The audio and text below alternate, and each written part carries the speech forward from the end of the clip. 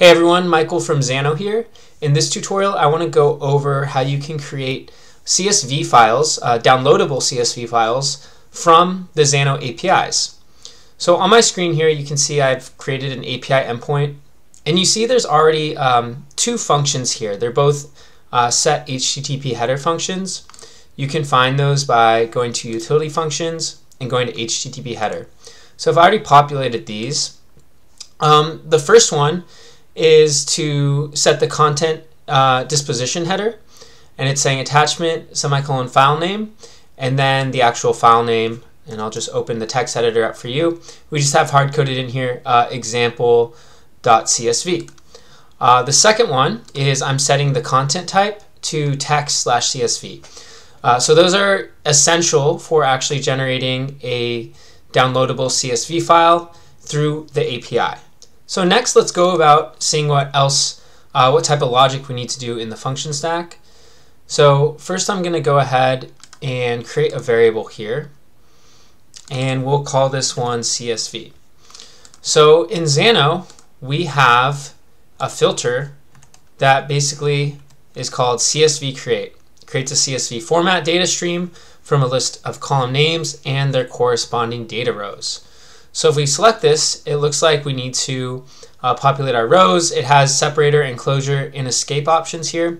Uh, for this, I'm just going to leave it all as the default, and that'll accomplish what I need. But I need to get the rows uh, and also the columns or headers of my values. So let's go ahead and save this. And I'll just drag this up here. So first, as said, we need to get headers. So let's actually, for this example, just create some headers. Uh, I'm going to create a variable here and we'll call this uh, headers. And for this I can just type uh, some JSON headers right here on the line and it'll create it for me in Xano. So I might do something uh, super simple. I might say name, uh, age, location, email. So those will be our headers and you can see once I close that uh, array bracket there I can just use the import JSON feature and it'll, it will create an array. So now that we have our headers, let me go ahead and drag this up. We need some rows or values to go in there. So I'm going to do the same thing. I'm going to go to data manipulation, create a variable here, and let's call this our rows. And once again, I'll use the same format. So we had name, we'll go ahead um, and say Andrew, we'll say age is going to be 30, location, we'll go ahead and say Los Angeles, and then email, we'll say andrew at email.com. So I'll go ahead and hit that. Um, so those will be our rows. So now that we have our headers and rows, uh, very simple of course, and I'll show you a couple more complex things after this.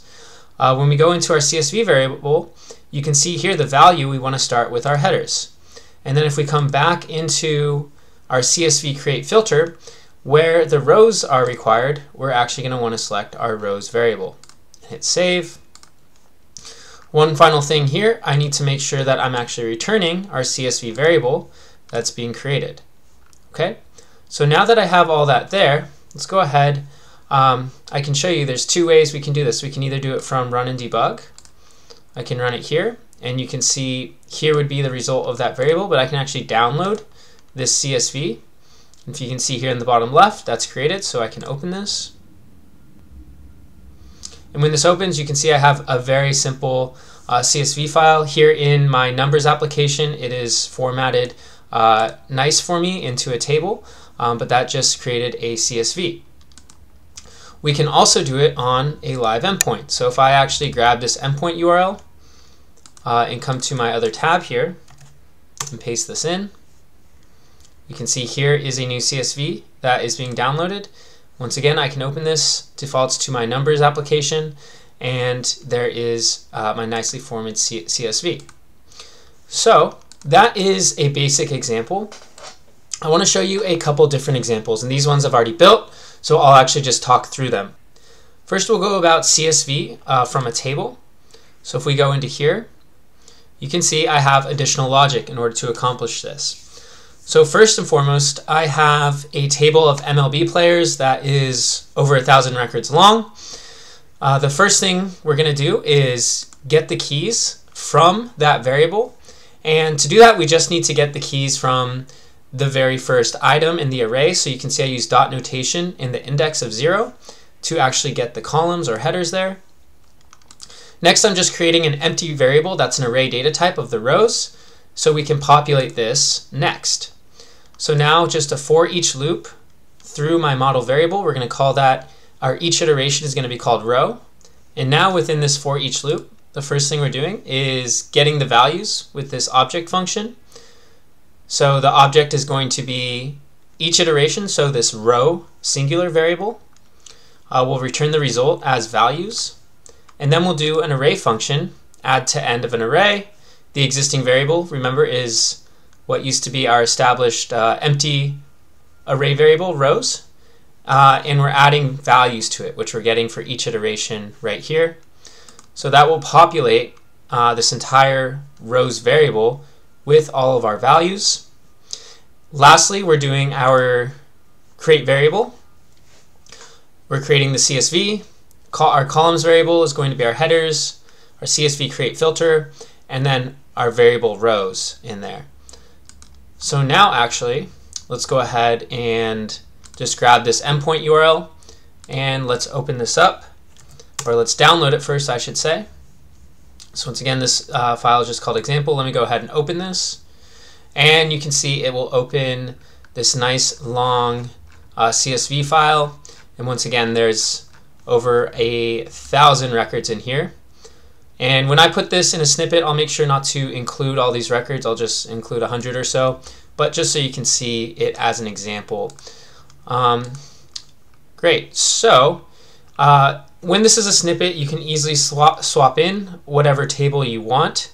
Um, the easiest way to make sure everything basically still talks to each other would be to first add in um, this query all records from whatever table you want right here. So let's say I wanted to do user. You would go to database request, query all records, you'd pick that table. And then I would just go ahead and make the variable name the same as it is here in number one. And then you could hit save. And then you could either hide or even delete this and everything should basically still uh, work and talk to each other.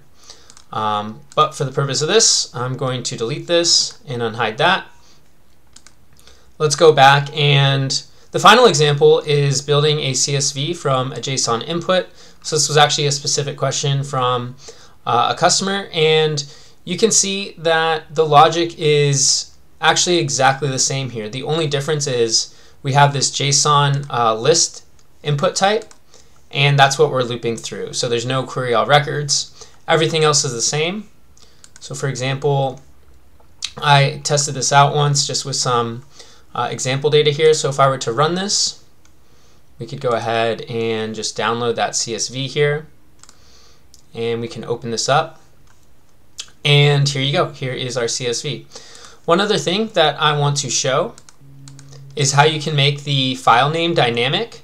So in our set header, we actually just have this uh, essentially just hard-coded in as demo.csv. You definitely need the .csv for this, but we can change the uh, name here. And I can do that with, I can make this dynamic with the sprintf uh, filter. So with sprintf, it does variable text substitution, and the variable uh, that it looks for is this percent %s combo. So I'm just going to replace that in there, hit save. Let's add a filter in here, call it sprintf, and you can see it needs arguments. So let me go ahead and update this at first, and I'll just save this. And let's add a text input here, and we'll just call this file name. Of course, it doesn't have to be an input. You could get it from somewhere within your function stack. Um, but that's just an example here. So if we come back to our set header and into our sprintf, we need to add an additional argument uh, for each of our percent %s variables in there. So here I might just go ahead and say file name. Let's go ahead and save this. And now let's run this again. And now we have this file name variable. So I might just go ahead and say um, tutorial video here for my file name. Let's go ahead and run this. And you can see when I download it, now we have tutorial video.csv as the name. And when we go ahead and open this back up, you can see that's the name of our file. Even drag it down a little bit so you can see that. So once again, there were three different examples of creating a CSV. Uh, this last one here was CSV from JSON input. I also showed how we can make the file name dynamic with the sprintf filter. Let's go back. We also talked about creating a CSV from one of your Xano database tables using the query all records and some additional logic.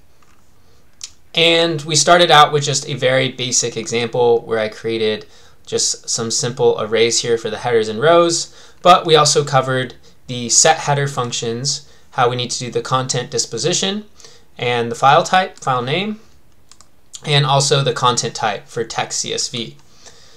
So I hope that's helpful. I'm going to go ahead and put this all in a snippet so you can go ahead and either preview it yourself or download it um, and install it into your Xano instance if you want to use it.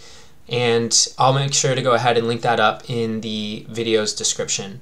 So thank you guys for watching. If this was helpful or you liked it, please go ahead like the video, subscribe to our channel, um, and share it with someone who might want to use this as well.